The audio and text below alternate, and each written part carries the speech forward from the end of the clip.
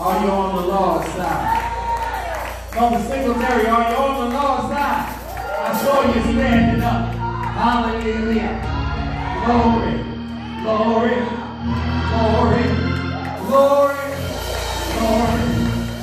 Hallelujah. Gracious Heavenly Father, we thank you for this day. We thank you for this time. We thank you, Lord God, that you're with us on this morning. We thank you, Lord God, that this word that is coming forth will educate, illuminate, and change lives in the mighty name of Jesus. We thank you right now for lifting up the hung down head. We thank you for restoring joy and peace. We thank you for healing the sick bodies. We thank you for making the crooked places straight. And we just thank you for this opportunity to stand behind the sacred desk and declare what thus saith the Lord. That the words of my mouth and the meditation of my heart be acceptable in thy sight.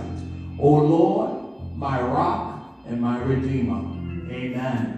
Amen. Go with me to Isaiah 9,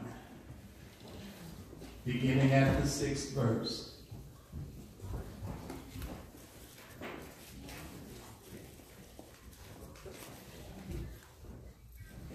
Isaiah 9 and 6.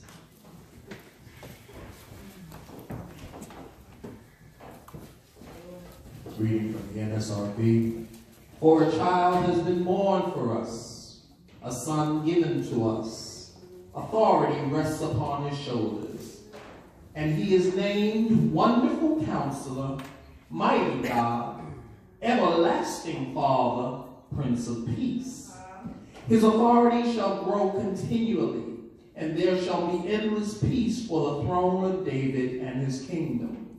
He will establish it and uphold it with justice and with righteousness from this time onward and forevermore. The zeal of the Lord of hosts will do this. So far the scriptures. Our thought for today, change the world change the world. The prophet Isaiah continually speaks to Israel concerning their behavior, which is unbecoming as a people who God has done so much for, but yet remain inconsistent and ungrateful to God. Isaiah remains consistent in his assignment as the messenger of God, while he doesn't lose ground to the truth, he heart of God, waiting for repentance. If not from all the people, then those who would repent. Now we know, realistically, everyone is not coming to God. There are some who will double down and say there is no God. And the Bible covers them when it says the fool has said in his heart, there is no God. But for those who will, and then the Bible said, whosoever will call on the name of the Lord shall be saved. So it is said There will be some and there will be others. But we can't concern ourselves so much with those who won't. But for those who will, this is a message of encouragement. Change the world. God requires faithfulness from God's people to show the world that a godly life is attainable and doable. But Israel would not yield in giving God all, distracted by anything that seemed more attractive to their eyes. There is no doubt that the church of today has lost its focus in the face of the pl a plethora of distractions and negative voices. Former presidents meeting with avowed racists, the loss of civility, kindness, and cooperation combined with more greed. You know, some of these things get sort of mixed in, and people look like they're doing right even when they're doing wrong. So you always have to be careful. And some people will use one piece of good to carry out their message of evil.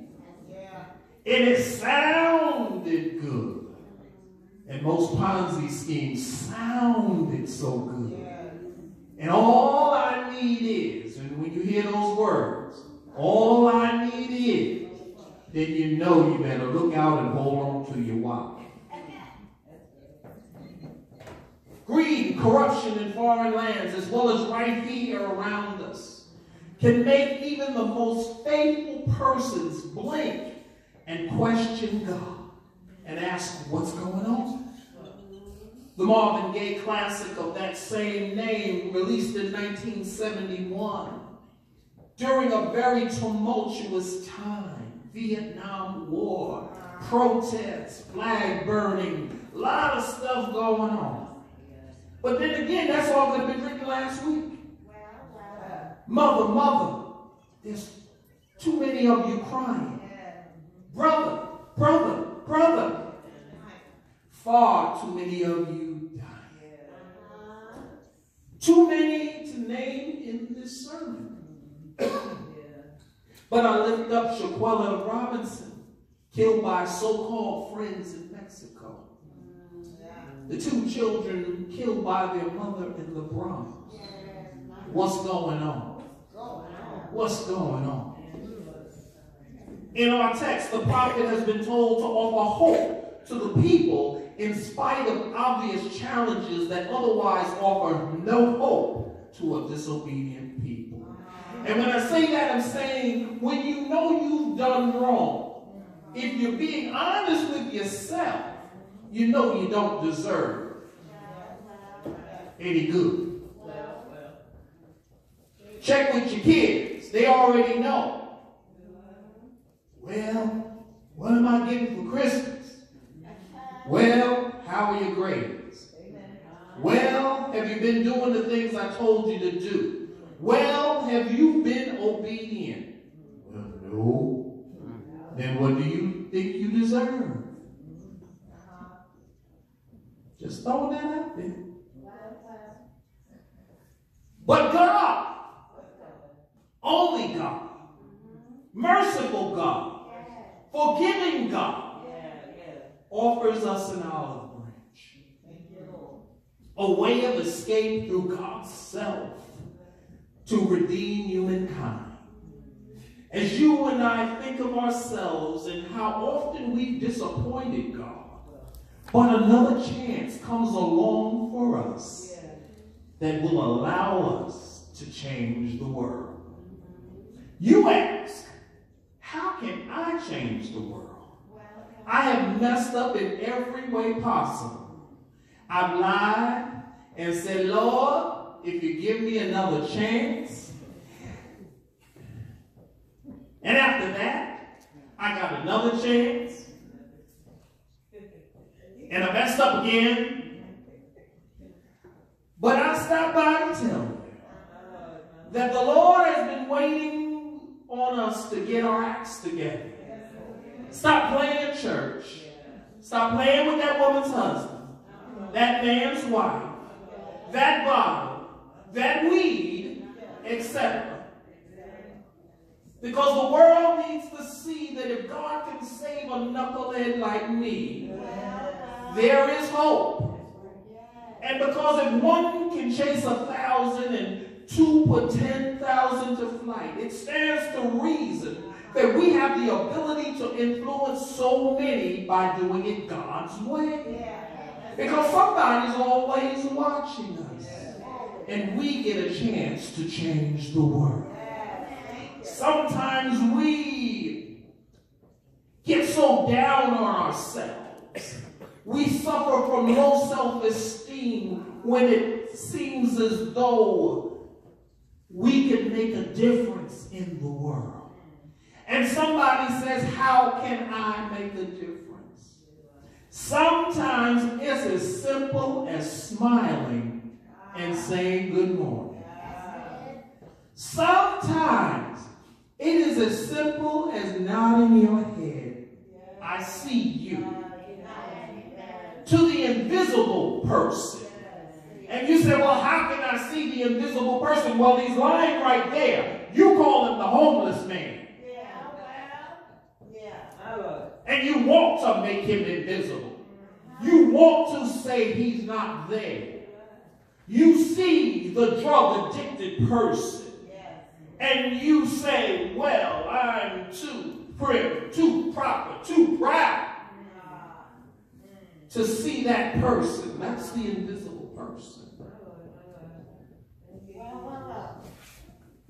But if you can smile at that invisible person who society has deemed invisible, if you can say, here's, you can't even say here's a quarter, you have to say here's a dollar. Get yourself a cup of coffee. You have made that invisible person visible. You have restored humanity to someone who stands in need. You can change the world. You see, our God is not like man, making deals and then not honoring them, or knowing the rules and then doing everything that he can to violate them. The covenant with Abraham had to be honored whether the people were totally compliant or not. It's impossible to do business with someone who has no character or morals. And our God is not a man that he should lie. So, God kept the covenant. When Dr. King wrote, Where do we go from here? Chaos or community? He was the prophet speaking to inspire hope, although he knew all the players at the table had no love for blacks in America. But he still had to speak truth to power. He knew America had reneged on 20 acres and a mule. Uh-huh. But he kept speaking until his voice was silenced. Uh-huh. He was sent here to change the world. Our God did not give up on humankind. We tend to do that to ourselves. But God. Jeremiah 31 and 3 lets us know God's intentions. As the prophet spoke, Yes, I have loved you with an everlasting love. Therefore, with loving kindness have I drawn thee. And I might have bet you $50 that that was the words of Jesus until I found it in Jeremiah. See, I lost my money. That's why fool his money soon part. That sounds like Jesus. Yes, it does. But it also now sounds like Jeremiah. In our text, the future is now. Unto us a child is born. Unto us a son is given. And the government shall be on his shoulder. And his name, names that sinful man cannot wear, shall be called Wonderful Counselor. The one who makes wise plans and offers good guidance. Mighty God, the Lord himself. Everlasting Father a benevolent protector, a God who cares for God's people in spite of all of the shortcomings. A father who never fails us. A father who loves us. A father who is always there. I saw a picture of LeBron James and two of his sons. I don't know if he has any more. And he was saying his dad walked out on him. And he didn't know who he was. But there he was standing with his two boys. Looking to be the father that his father wasn't. Never mind what you might have learned. And then he asked the question, what might I have been had he been there? So it wasn't bitter in the sense of saying, ah, I just would throw it all away. But realizing that things can change, and it might not have been for the better. But then when you get what you get, you have to learn to make what you can make out of it. If you've ever watched MacGyver, MacGyver takes a piece of gum, a safety pin, and some sort of backward hook, and make some kind of thing to get out of some trouble. And some of us in our lives have been left with a safety pin, a piece of gum, and a little backwards look. And we ask the Lord, what am I supposed to do with this? But God is saying, use what you have in your hands to make a difference. Don't worry about what the other guy has. The other guy has his own stuff to do. But what can you do with what I gave you? Told Moses, look at that rod. You think you don't have anything. But look at the rod I gave you. Now. Use it. Hold it up and watch change occur. I've been given some stuff and I feel like I've been given a raw deal. But God is saying, use what I gave you. You're going to change the world.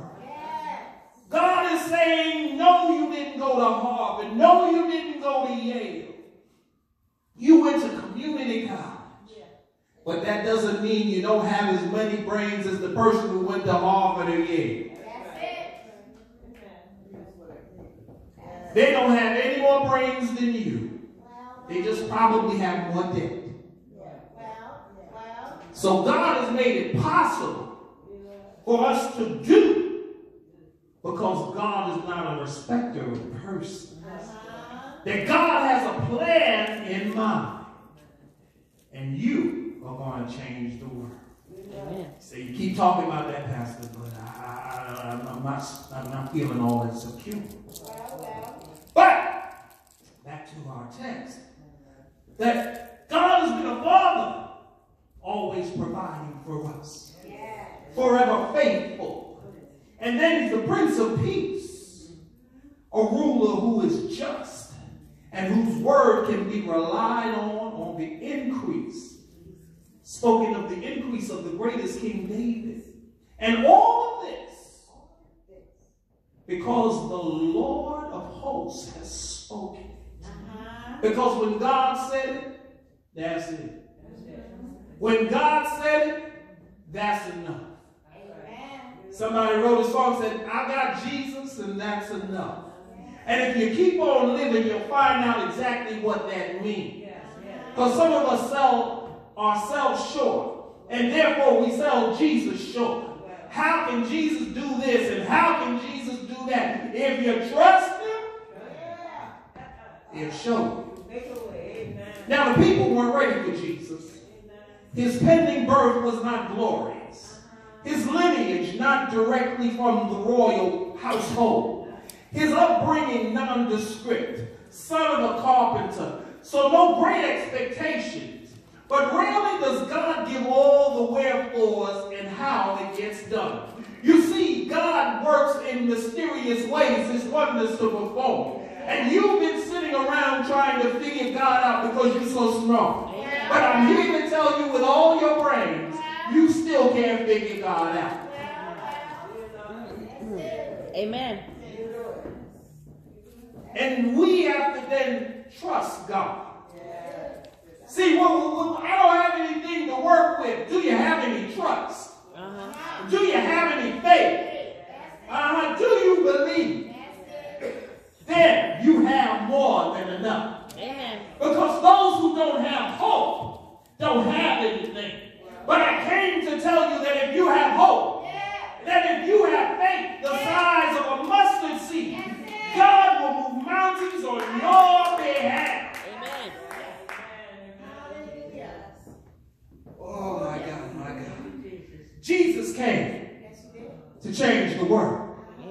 He spoke truth to the powers that be, laid a foundation for justice, and revealed God's love to a people who needed to be loved and valued. He changed the world, not with a battle axe, but with a sword called the Word of God, that is perpetually sharp, cutting away all the ties that bind us to sin. He changed the world, starting a movement that still exists, although it has been challenged, denied, and repudiated by those who use it for a cup. You know those folks. They hold up a Bible upside down and say, I know Jesus.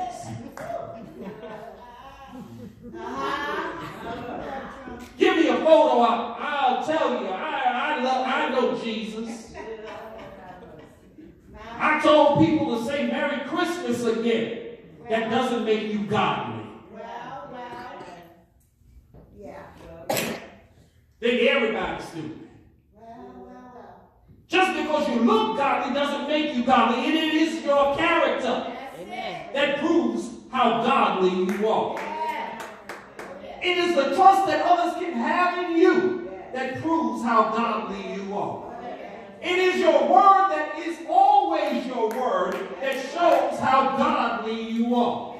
It is your love that you have one for another that shows how godly you are. It is your kindness that shows how godly you are. It is your ability to share even when you don't have a lot yourself.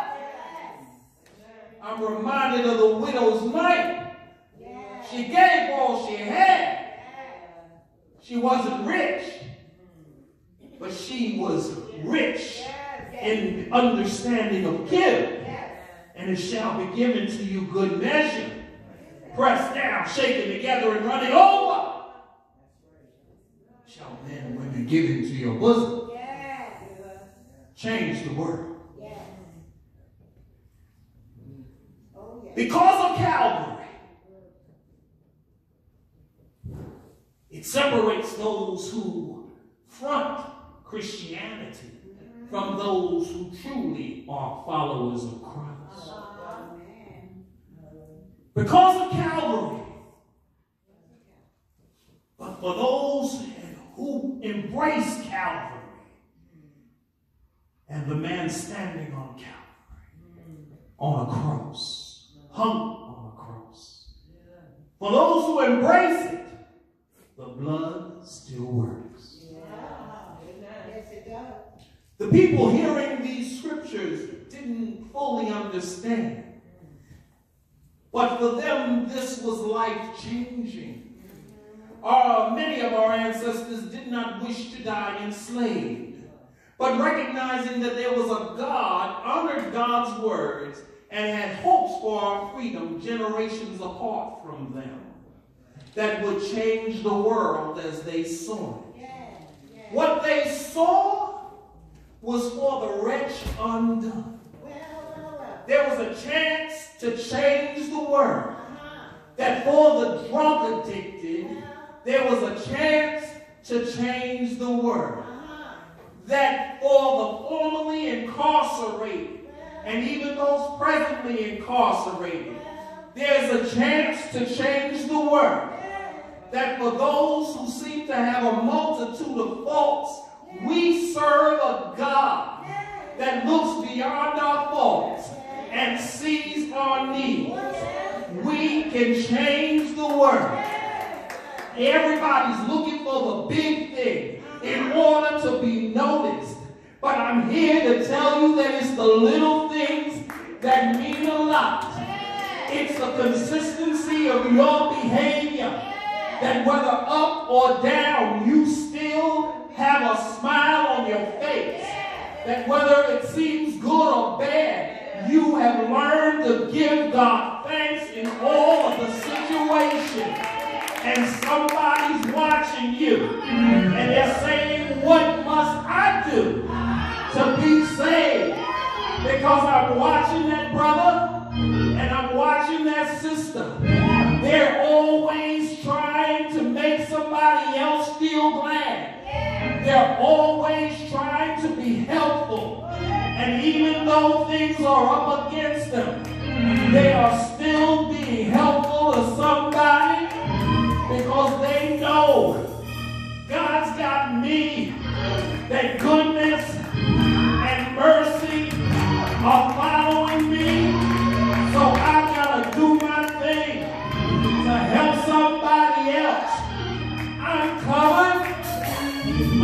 the blood of Jesus. I'm here to make a change in the world.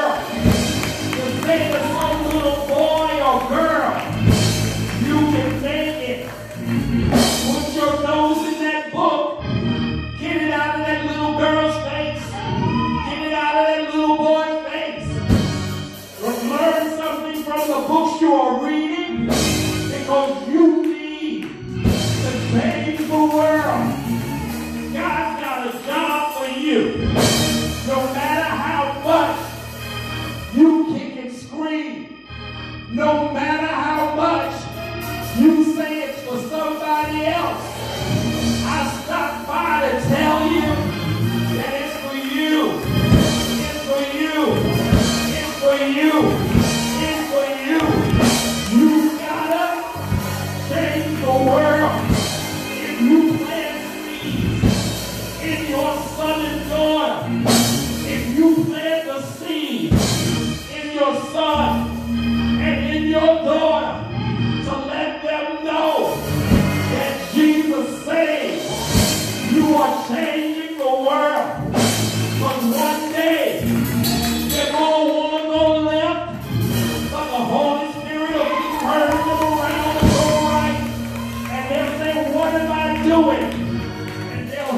general